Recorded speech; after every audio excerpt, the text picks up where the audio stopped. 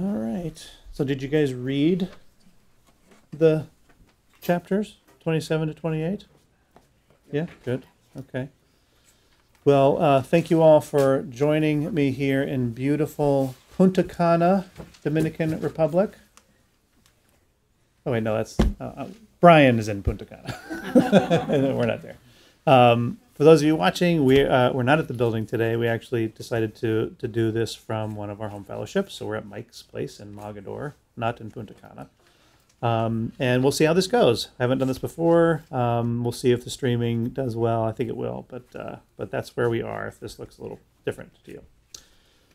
All right, so we're in Acts 27, 1 through 28, 15. And a summary of last teaching was, uh, or at least the, the big takeaway from it is that we, we, we do ourselves a favor by rethinking Paul uh, how we interpret and understand Paul, what he was, what he was teaching, what he was all about, uh, since that seems to be what um, uh, most of our uh, Christian faith uh, has and, and, practice is based on is a, is, a, is a particular understanding and interpretation of Paul. And so by rethinking Paul, we can have a we can come to Scripture with a with more open eyes, I think, clearer understanding, and and the ability to um, to, to interface with it honestly um, and with humility and um, uh, not thinking that we know what's going on. Right. So so that's that, that's basically the big takeaway. This week will be. Oh wait. Oh hold on. This week will be Oh, I, I got to connect to the, internet here. Um, while I do that, uh, so this week it, there's going to be a. I, had a difficult time trying to find what the big lesson is because this is a um, travel log, right? It's here's what happened. Here's a couple interesting interesting episodes on his way to Rome. Okay, and so there's there's probably a lot of different ways uh, we could take this. Let me sign in here.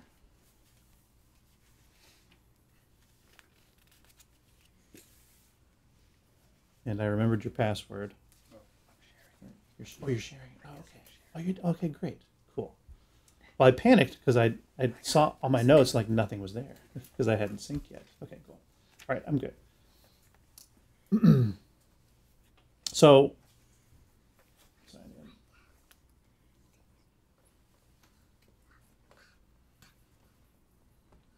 Bear with me.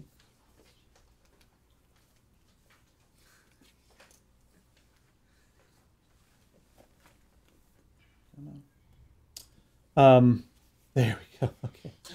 Uh, all right. So I want to start off with talking about the letter to the Romans uh, and ask a question that we'll be able to answer at the end of this, this particular portion of, of Acts. Paul had written Romans three years earlier, and he had never been to Rome yet. He hadn't been to visit the Roman uh, um, community there. He knew some people there. He knew Priscilla and Aquila. Uh, we see in the end of Romans a bunch of people he's uh, he's wanting to say hello to, but he hadn't yet at that time when he wrote Romans he hadn't yet visited. Uh, so he didn't know, uh, or, or he, he wasn't addressing in his letter to the Romans specific problems that a lot of his other epistles seem to have been addressing. Right? He's a lot of the epistles are like, yeah, I, I you know, I've been talking with with so and so, and and they tell me such and such. Here's here's how you you deal with this. Rome, he hadn't been to yet. He knew of some of the folks, uh, but didn't have as intimate an understanding of the community there to be able to, to address things specifically. It's the only, um, yeah, it's the only letter, and this is the only letter he had written to people he hadn't yet visited that we have in our Greek scriptures. What this letter did was lay the groundwork for influencing the community there to be a kind of hub for his continued ministry farther afield. And in Romans, he specifically mentions Spain. He wants Rome to be a place where he can go leave from to go to Spain and continue his ministry. So he was looking forward to this. Um, and Romans is of, of all his epistles, it is the most um, exhaustive, the most articulate, the, the, the, the best reasoned and well thought out of all of his letters and epistles. And so it was very, a very a, a profound uh, letter that he was sending. What he didn't know was how it would be received. Didn't know how it was going to be received. And he didn't know, he couldn't have known how he was going to be received after having sent this letter. Something else to keep in mind, too, about what's, what had been happening in Rome when we meet Priscilla and Aquila, it's because they had left Rome. Why? Why had they left Rome? You remember? Did they want to leave Rome?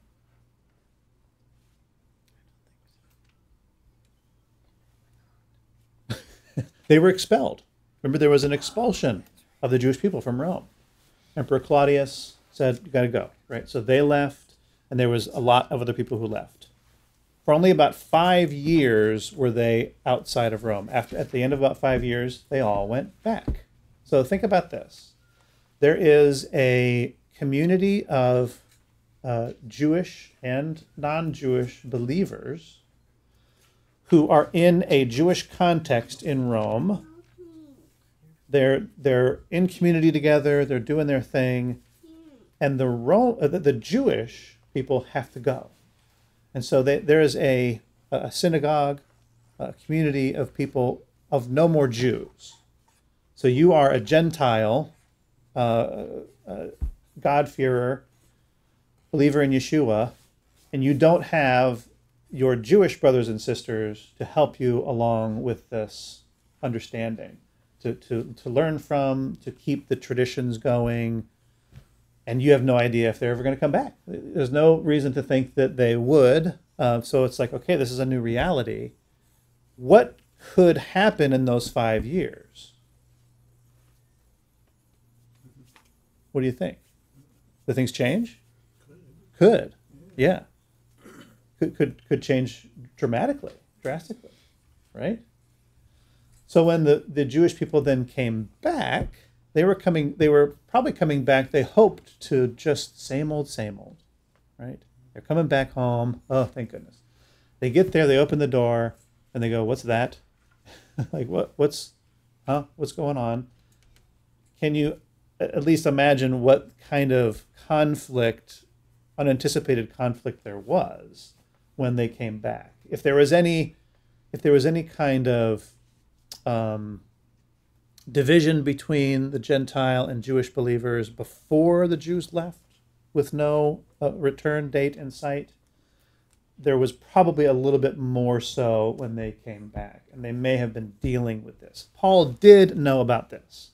He did know that they were gone for a while and they went back, and that must have caused some strain um, to what degree, eh, probably he didn't know. But we do know that in Acts 15, he does address a particular subject. So I want to go there, Acts 15, the first 13 verses. Uh, and I'm reading from the NASB. and this is toward the end. There's 16 chapters. This is toward the end. He's he's been making his case, know, his, his very articulate, well reasoned case for the gospel. It's, it's a, a very it's a, it's a it's almost it's an almost perfect book. Well, it's a perfect book. We'll just say that.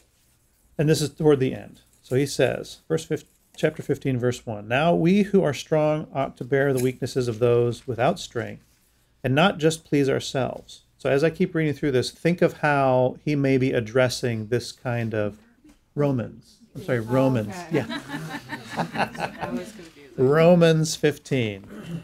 As I read this, think keep that in mind. He's writing to a group of people who have this strain that, that they now have to deal with. They didn't anticipate.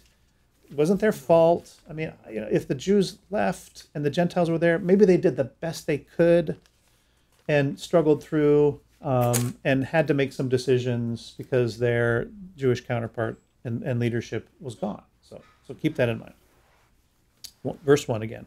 Now we who are strong ought to bear the weaknesses of those without strength, and not just please ourselves. Each of us is to please his neighbor for his good, to his edification. For even Messiah did not please himself. But as it is written, The reproaches of those who reproached you fell on me.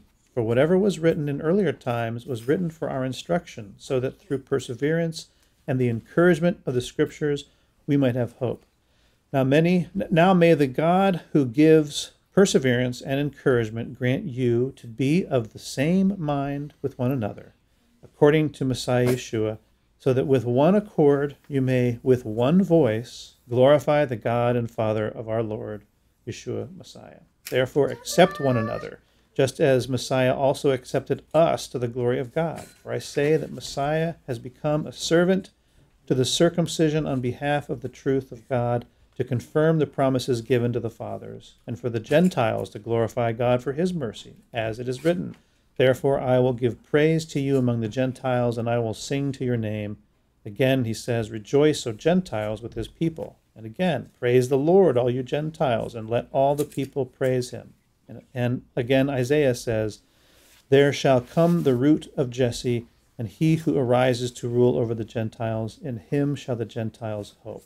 Now may the God of hope fill you with all joy and peace in believing, so that you will abound in hope by the power of the Holy Spirit. Okay all throughout his ministry so far, he's dealing with this whole Gentile uh, grafting in uh, that, that he's not dealing with. He's dealing with the reaction to it. He knows that in Rome this has happened. They're this coming back together. The Jews have returned and maybe tried to you know establish the way things were, but coming against some friction likely. And he's sending this ahead of himself. He's sending it and has no idea how it's going to be received. He's hoping it's, it's going to be good. So, we, you know, he has no idea.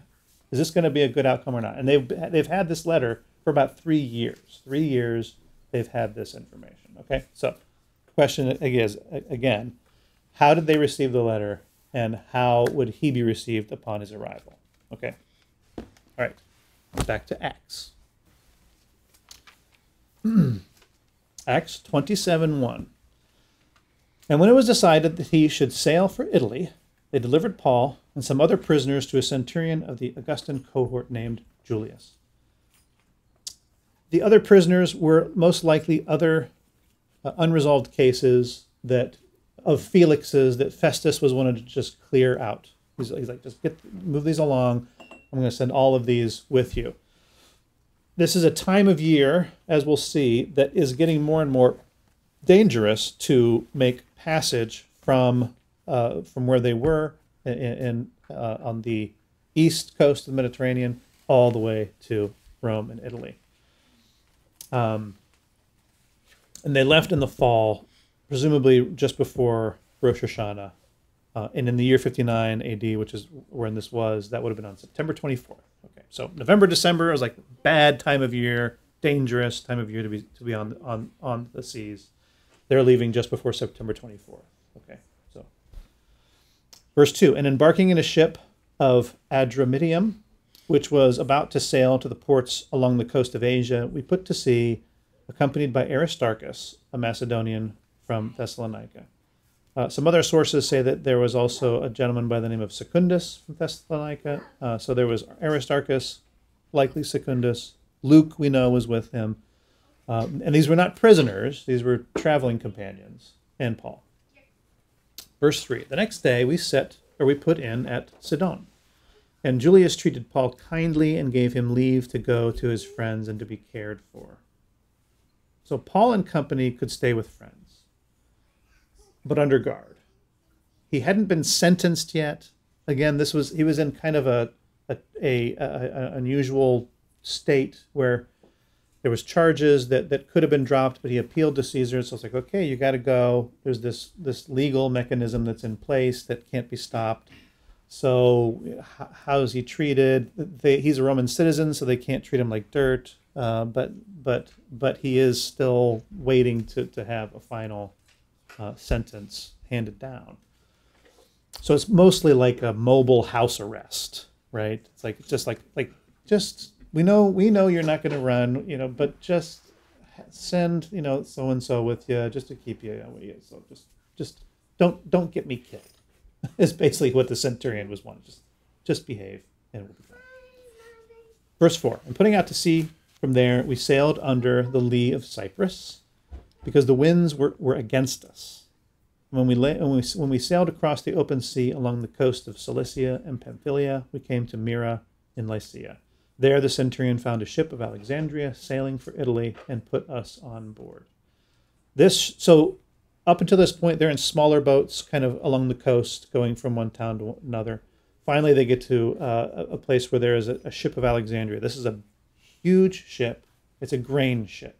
From Alexandria to, to Rome was the route that the grain supply took, uh, and they did it often. And these were very large boats. Later on in the passage, we'll see that there was 276 people on the boat, including crew, um, prisoners, passengers, and, and this wasn't a passenger ship. So if there was 276 people who were able to go on this, you can imagine the size of the ship and how much grain there would have been in it as well, because that this plays a factor too.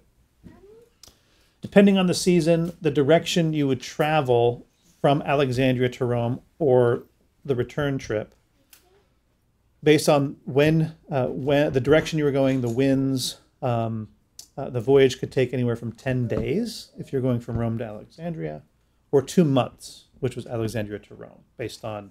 So, so it's a wide range uh, of, of possible time lengths for this trip. Verse 7 We sailed slowly for a number of days and arrived with difficulty off Sinus, uh, Sidus. And as the wind did not allow us to go further, we sailed under the lee of Crete off Salmone. So they were already experiencing rough seas, and they hadn't really even gotten to the open sea yet. So it's already uh, not starting off well. Verse 8 Coasting along it with difficulty, we came to a place called Fair Havens, near which was the city of Lasea. This is the last stop before attempting to cross the sea. Like, okay, we're going to go here. This is where we're going to make the decision if we're going to wait it out here or try to go across. Okay. Verse 9. Since much time had passed and the voyage was now dangerous because even the fast was already over, Paul advised them, and I'll just pause there. What is the fast? Day of Atonement. That's right, Yom Kippur. Um, Luke clearly presumes that his audience knows what is what, what is meant by the fast, because that's obviously not the name of the day. It's it is Yom Kippur, is the Day of Atonement. Uh, so that that gives you an understanding of of of the who the audience was, um, and that it was important to uh, to note this. So they would have observed uh, Yom Kippur in Fair Havens, and this would have been at about this was October fifth um, in the year fifty nine. So they were they had left before um, before Rosh Hashanah, and they arrived in Fair Haven. Uh, and observed Yom Kippur there um, and then it was, and then the fast had passed, making it later still in the year. Verse 10, saying, uh, and Paul advised them, saying, Sirs, I perceive that the voyage will be with injury and much loss, not only of the cargo and the ship, but also of our lives. This isn't any divine revelation. This is just him knowing, like, everybody knows that November, December is a terrible time of year to be we're getting closer to this. It could take up to two months. It's already the beginning of October. Um, of course, he wouldn't have used October, but he would have used Hebrew months. But anyway, beside the point. Um, please reconsider this. Like, like, no one else is saying speaking up. Like, I'll raise my hand. Like, sir, like, let's let's reconsider this.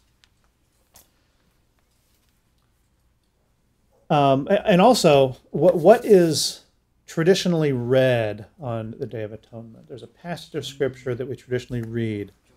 Say it? Jonah. Jonah.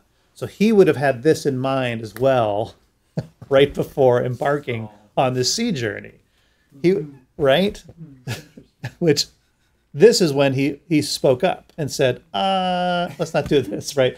Not when they left earlier in the trip, but now after some rough seas, and they're spending some time reading Jonah, and they're probably looking at each other like, uh, who are you going to say something? I, will say so. Okay, I'll say something, right? So, so that's on his mind as well. Um, verse 11, but the centurion paid more attention to the pilot and to the owner of the ship than to what Paul said. So the owner of the ship was on board. This is important.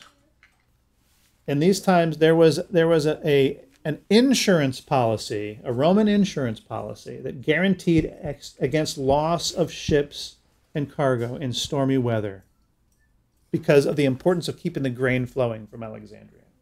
It was so important that grain keep coming to Rome from Alexandria. That was like that was like it was worth its weight in gold then. They wanted to keep the flow going, so they insured against loss. All right?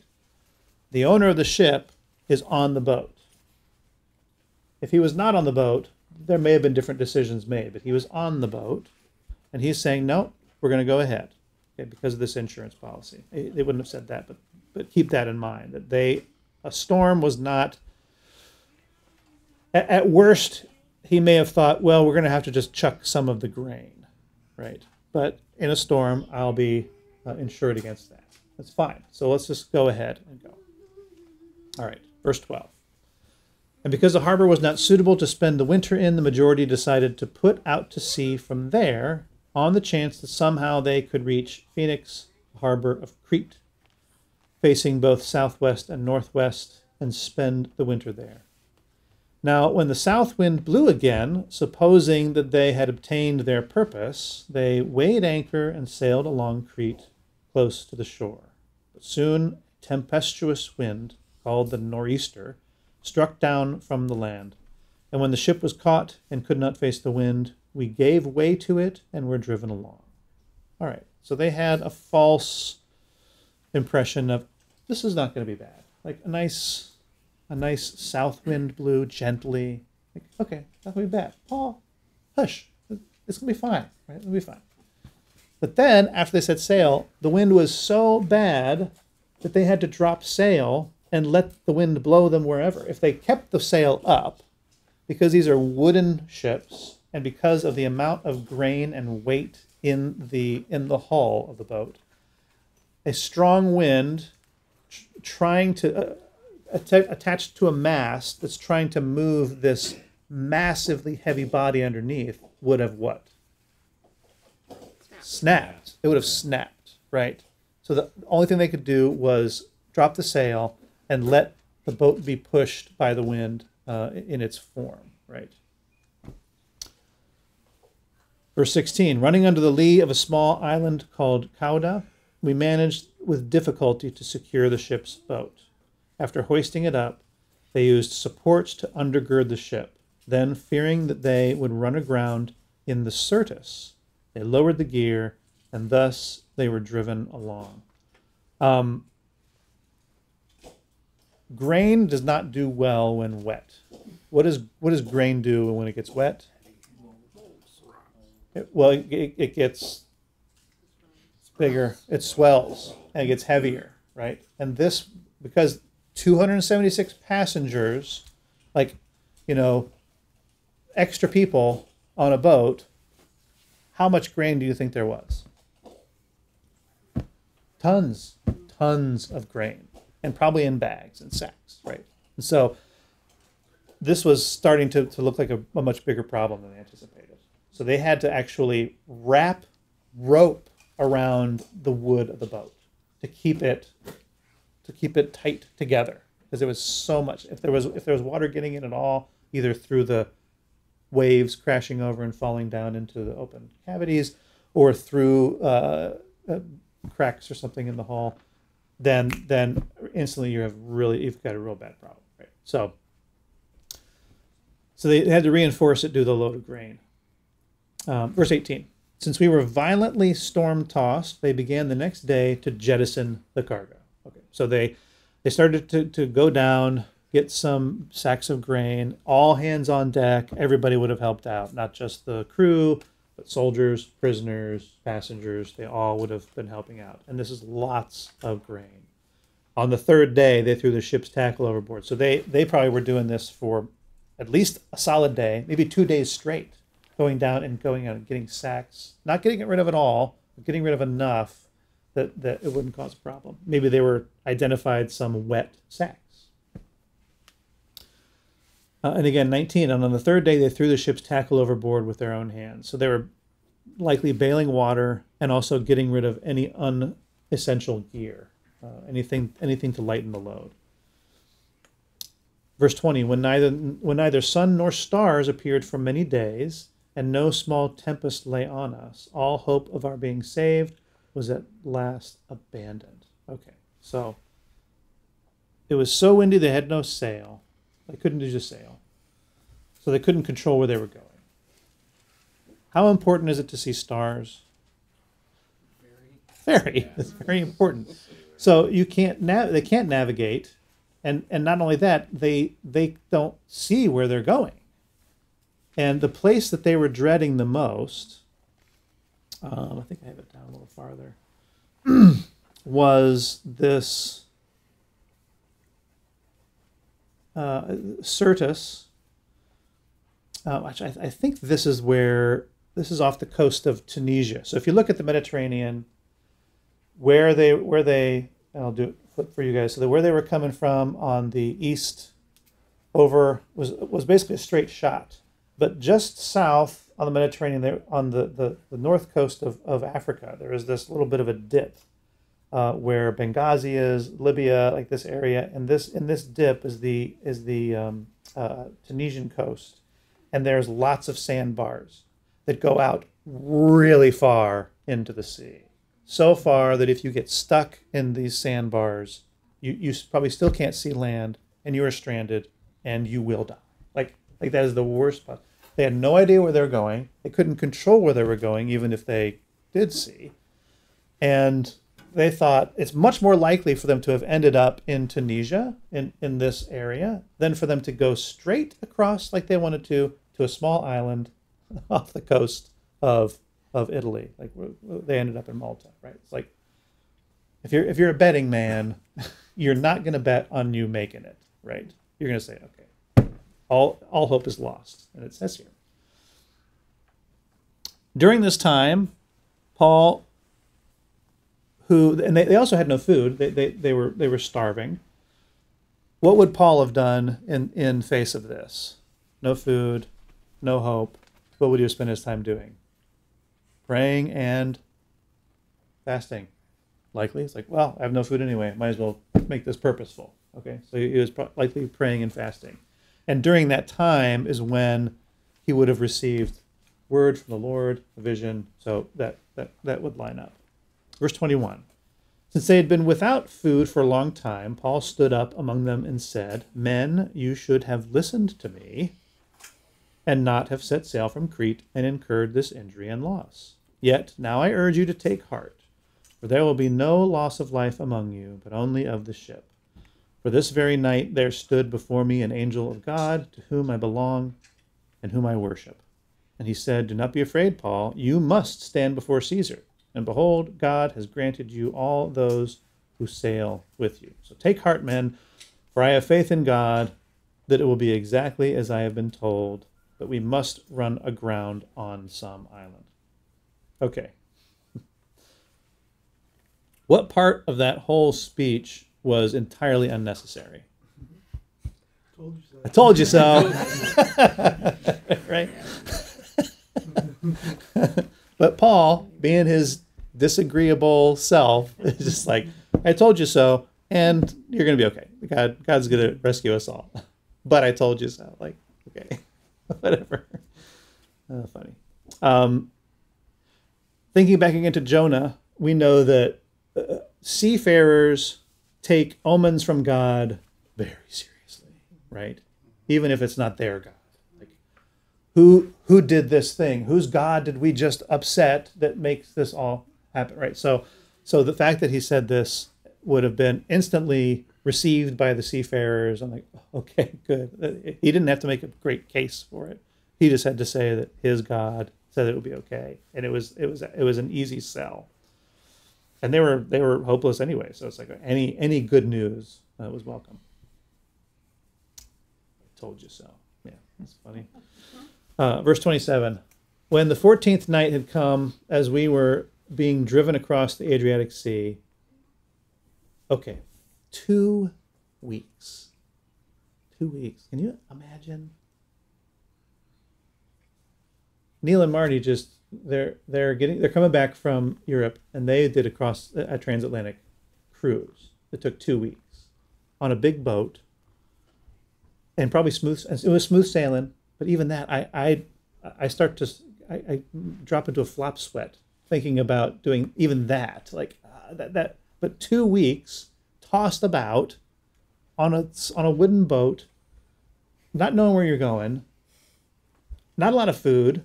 At the end of this, they're probably going mad, right? Like I, I can't I can't imagine this. This this is hard to think about.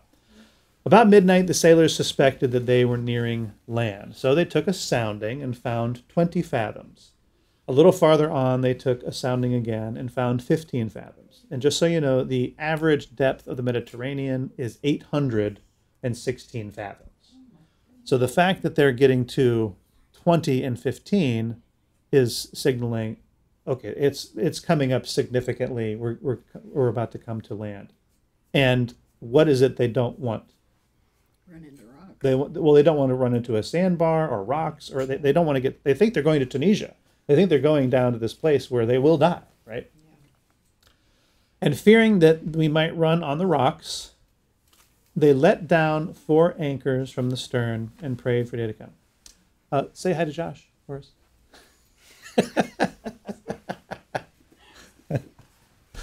Uh, um, okay, fearing that they, we might run on the, we have a lot of fun here. So yeah. Uh, fearing they might run on the rocks, they let down four anchors from the stern and prayed for day to come, so that they could just see what was going on. This is nighttime. Yeah.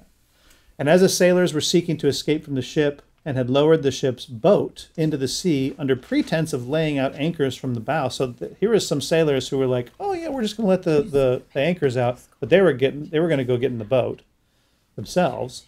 Paul said to the centurion and the soldiers, Unless these men stay in the ship, you cannot be saved. Then the soldiers cut away the ropes of the ship's boat and let it go. Okay. At this point, we see Paul kind of taking charge, right? He's trusted by the, the Roman soldiers. Um, he- he's trusted by his companions and, and the prisoners, and uh, he he probably knows some of them. I don't know. So he's he's kind of taking charge here and, and leading the way. Again, two weeks. They're all going crazy, right? It, it's just I can't imagine the, the the the setting, the environment that they're on. It's it's horrible, right? So he takes charge. Verse 33 As day was about to dawn, Paul urged them all to take some food, saying, Today is the 14th day that you have continued in suspense and without food, having taken nothing. Therefore, I urge you to take some food, for it will give you strength. For not a hair is to perish from the head of any of you. And when he had said these things, he took bread, and giving thanks to God in the presence of all, he broke it and began to eat. What does that mean, giving thanks to God? breaking bread. What is that? That's the the bracha. That's what we do. That's that's the bracha. Then they all uh, were encouraged and ate some food themselves. We were in all 276 persons in the ship. Again, big. Not the biggest of the grain fleet, but still a very very big boat. And when they had eaten enough, they list, they lighted the ship throwing out the wheat into the sea. So this was the, the remaining grain that they had. Um, if you're if you're about to run aground, you want to be as high up in the water as possible, uh, so that you uh, don't uh, have any damage, or you're, you're you're you're minimizing the surface area of the boat underwater. Uh, so where you run aground is going to be you're, you'll be in a better position, and you will be farther inland so that if you have to jump out because the boat's gone right? The the rescue boat is, is gone. So you you would want to be able to get out and maybe walk to safety. Verse 39 now when it was day they did not recognize the land but they noticed a bay with a beach on which they planned if possible to run the ship ashore okay beach equals rocks or no rocks No rock. no rocks Ah, hooray! Okay, wonderful sight. It's good because even if you saw land and rocks, you could still die and perish. But you saw beach. Okay, there's there's there's a possibility we're all going to make it. Um, So they cast off the anchors and le- left them in the sea, at the same time loosening the ropes that tied the rudders, then hoisting the foresail to the wind so they, they could put the sail back up because there wasn't the danger of the mast snapping in half because of the weight of the ship. They'd gotten rid of everything now. Put the sail up, control where they're going for the first time because they can see a, a point in which they need to go. But striking a reef, they ran the vessel aground. The bow stuck and remained immovable, and the stern was being broken up by the surf. So they maybe they didn't they didn't get as far as they wanted to, and because of that, the waves were hitting the back of the boat, tearing it apart. Right. So it, this was like clock's ticking. Okay, we, we see where we need to go. We got to get off this ship ASAP. There was no landing craft, too, if you remember. Yeah. So, verse 42 the soldiers' plan was to kill the prisoners, lest any should swim away and escape. Can you, uh, uh, what's the penalty for a soldier who whose uh, prisoner escapes? Any guesses? Probably death. Death. Yeah, death penalty. Right. So, so they're thinking, okay, it's every man for himself. We have no boat to travel in. Every man for himself. We're all weak. It's been a long trip. Uh, as a soldier, I want to make absolutely sure I am going to live through this. If I if I can't even if I can't carry or keep track of the prisoner who's going into the water with me, and I'm only trying to care for myself, and we both make it, he makes it before I do and escapes, then I'm dead anyway. So it, was a this was self-preservation. It's better to kill the prisoners to ensure that that I remain alive. That's that was the motivation here. 43 but the centurion wishing to save Paul kept them from carrying out their plan. He ordered those who could swim to jump overboard first and make for the land. So he trusted Paul that all would survive.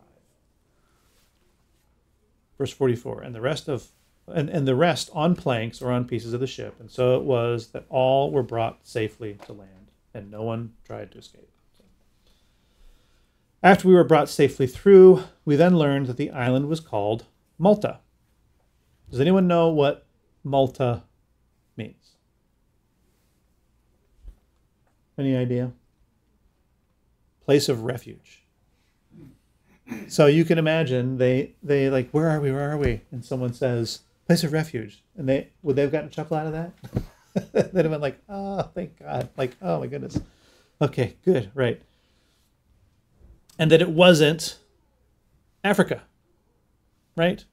Because again they had no idea where they were. They still couldn't see the stars so they weren't on the Tunisian coast they weren't in Africa they didn't they had much uh, less of a journey now uh, if, than if they had arrived in, in Africa. So they were quite relieved, very, very relieved. 28 verse 2 The native people showed us unusual kindness, for they kindled a fire and welcomed us all because it had been it had begun to rain and was cold. When Paul had gathered a bundle of sticks and put them on the fire, a viper came out because of the heat and fastened on his hand.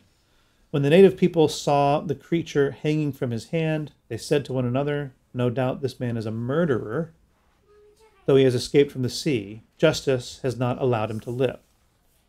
He, however, shook off the creature into the fire and suffered no harm. They were waiting for him to swell up or suddenly fall down dead. But when they had waited a long time and saw no misfortune come to him, they changed their minds and said that he must be a god. Okay. The, the only thing that I can say about this is that and there there are probably other teachings and other sources that, that, that get into this in, in a better way than I can. But the only thing that I've that I could come up with this week was if if you are relying on if you're relying on the flesh, your animal instinct, extremes are easy. Right? So, what were the two options here for them? He's either a murderer, the worst kind of human being, or he's a god. Like th- there was no in between option here, right? So th- th- this is the people who don't know the God of, uh, of the universe, and when this sort of thing happens, there the extremes are what the options are. This is does that make sense? Like it's we make generalizations based on um, on bad experiences, and and then we write off anything that could be a little more subtle than that. And that's all I got from this. Eh, eh, Does that does that ring true? Do you understand what I'm trying to say? Maybe, maybe not. Yeah. I w- I was thinking that maybe they were more so amazed because if they're locals, they know the snake. The, it must have been an indication that this is a well-known venomous species that has gotten onto his arm. So when they initially see it, they're probably like, "Wow, what horrible, awful luck to get out of that monstrosity, only to die from a venomous snake bite around the campfire." Right. And then it just gets shaken off when it didn't do anything because God Yeah. protected him. Yeah. Like, that never happens. You've just escaped two impossibly de- deadly situations. Mm. What other option is there? That's true. That's a good point. My Yeah. version says it was the goddess Justice. I don't. Is that? this Oh, is not um, That right? doesn't seem right. Yeah. Uh, it was wh- wh- apparently a goddess. I don't know if that's true or not. what's wh- which verse was that? Uh, boy. Where was that? Oh, um, verse four at the end. This says the goddess Justice has not allowed him to live. So I agree. I like that. Right. Yeah. But I- also, if you can Yeah. survive the attack of a goddess, allowing something, Yeah. you must be a god, right? That would be the logical. Right, and I think that that viper was the um, animal symbol of that this goddess of justice. I think, yeah. Um, right.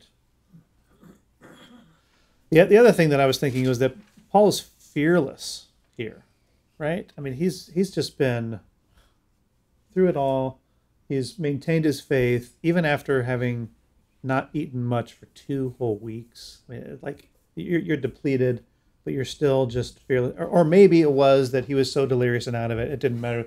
He could have been, there could have been like a lion that hit him and he'd just been trying to just like shake it off, like maybe not even recognizing what it was. I don't know, but but his I, I believe it's his his fearlessness, um, and and because of this, so I think I was I was wondering about this because this is a place that they're actually going to stay for the winter. They're going to stay there for a while, for three months. They're in this place, and there's only two things that that Luke writes about it. There's probably a lot of things that happened in those those three months. It's this episode and then the next episode that happens sometime probably shortly after. I think that this happening here, this episode with the with the viper, is what allowed them to be invited to the chief's house. This is the, the chief leader of the, of of Malta. This impressed the people so much that, that they brought him to the leader's home where they were washed and bathed and well fed and slept well and, and treated very well all winter long. Right. So this was this could have been you know if, if i'm if i'm trusting that god is is is in everything this was like god making it so that they had some cush respite after a really really horrible trip like this is how it's going to happen maybe okay so verse 7 moving on now in the neighborhood of that place were lands belonging to the chief man of the island named publius who received us and entertained us hospitably for three days so again, they were very well fed and and and uh, very well treated. It happened that the father of Publius lay sick with fever and dysentery, and Paul visited him and prayed, and putting his hands on him, healed him. And when this had taken place, the rest of the people on the island who had diseases also came and were cured.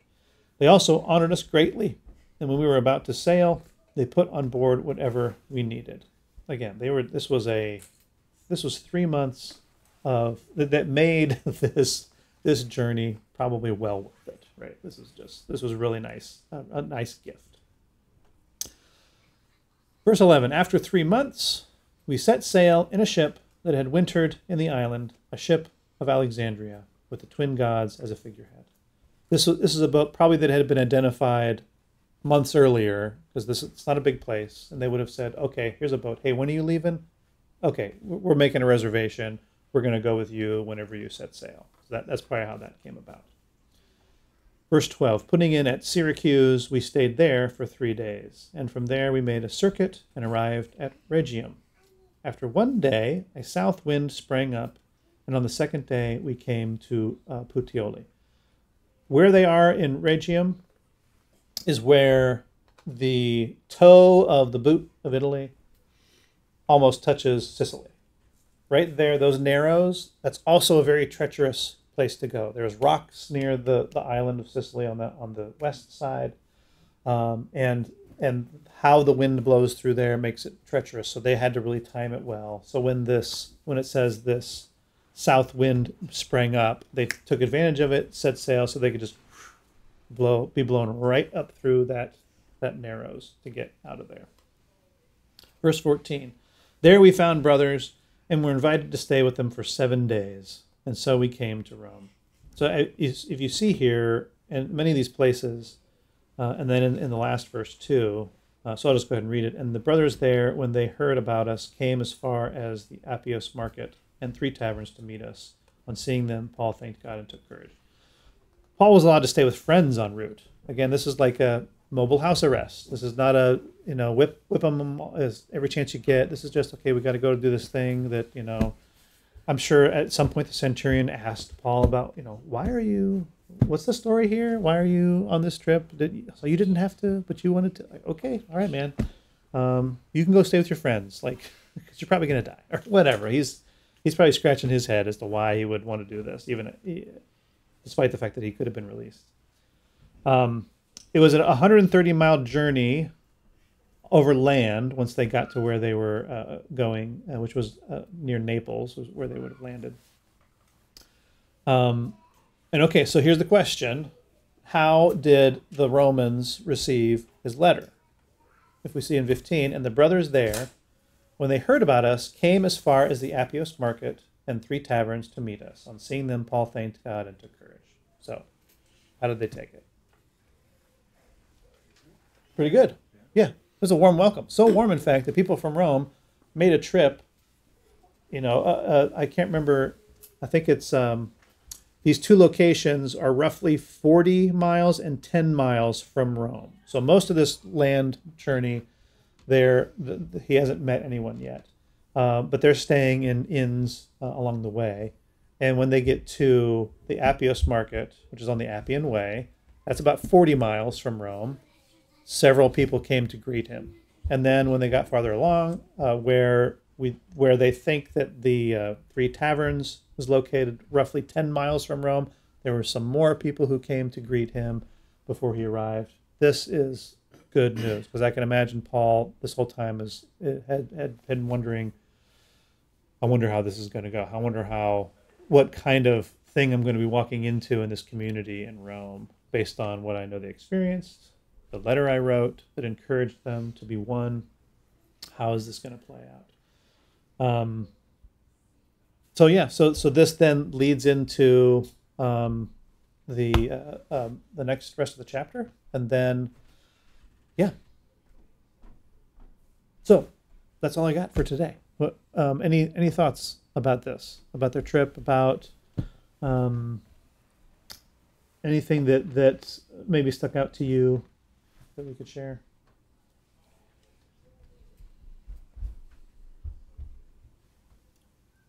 Why do you think the owner of the ship was so gung ho to go right that minute? I mean, sure, there's an insurance policy on his stuff, but he was on his boat. If his boat sinks, so does he. I think he thought he it wouldn't sink. He may. It, it, it- I mean, I can't. I can't speak for him, but I imagine he had a bit of arrogance about himself. Um, that said, "Oh, we'll be fine." Um, yeah. Any any other thoughts on that? I think, yeah, I think I agree with that. I mean, like, uh, why are you telling me? Aren't you some theologian? Or, you know, what do you know about the sea, basically? Right. You know, Right. I'm gonna just, I know what I'm doing. you know, Yeah, and they didn't. it seems to make he hadn't established Paul hadn't established himself as someone trustworthy for the owner of the ship and the pilot. The other folks would have known, and maybe the centurion was like, "Yeah, why don't you go tell them uh, about this too?" Because he may have been concerned as well. Um, but at that point, they didn't. Eventually, we see that you know Paul took kind of took charge, and we don't hear anything else about what the pilot and the owner of the boat said. So there, there was a bit of a um, trust build up during this during this journey. Um, think see if you have anything else you want to add. I'm, I'm looking at some of the questions I sent out for our, on our discussion guide. Um,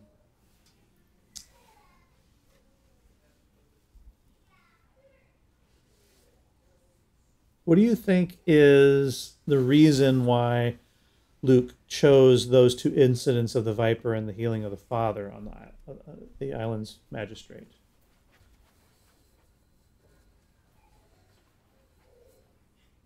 If if not if if in addition to what I was saying, how the Viper incident is what what inspired these Maltese people to invite him and be and, and be taken care of.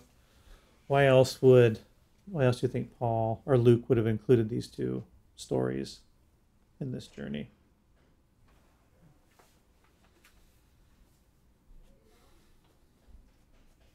I think to my mind is this to show the power of God.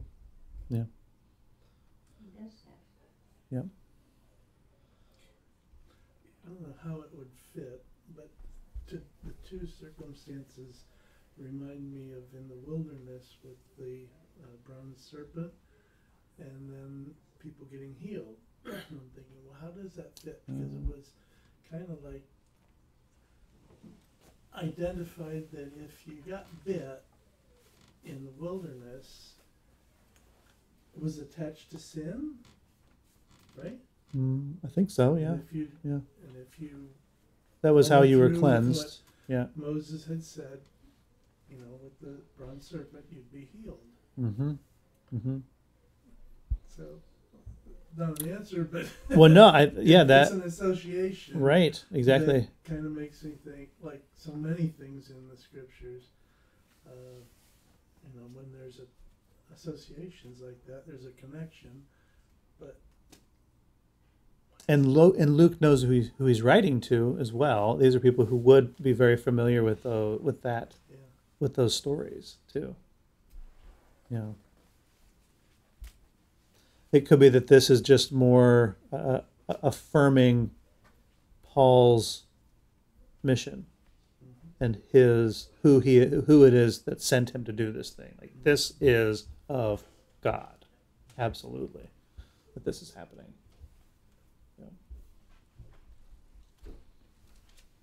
Now, Luke being a physician, he's more in tune to safety of the body. Okay. Yeah, that's a good point. Yeah.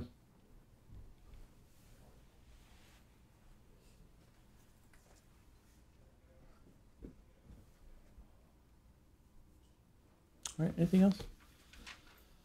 Again, this was a this was a, a one of another interesting uh, portion that is uh, not filled with at least obvious spiritual lessons there's a lot we can learn. Um, I I love getting into the context of things and the history of it and just the details and um, and you know seeing his seeing Paul's humor a bit and his, that he just had to say I told you so. But I I would probably have been the same thing. Um, th- this this helps to make all of this so much more real to me, which is so important. Um, you know, understanding understanding how a, a, sailing vessel works and, and seeing how they responded to it and how it makes perfect sense.